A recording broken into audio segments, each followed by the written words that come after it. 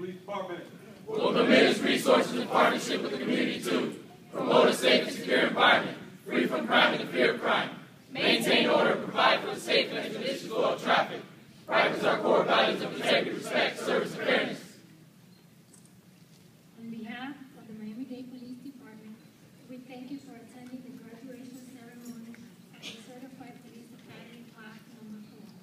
We welcome you to come forward and pin the badges on your family members and congratulate the class members.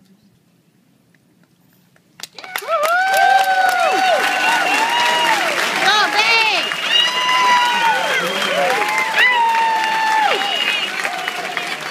Ben, move up. You weren't supposed to go up. Only for law enforcement. Oh my god! I didn't know. They've up. said, What? move up. Yeah.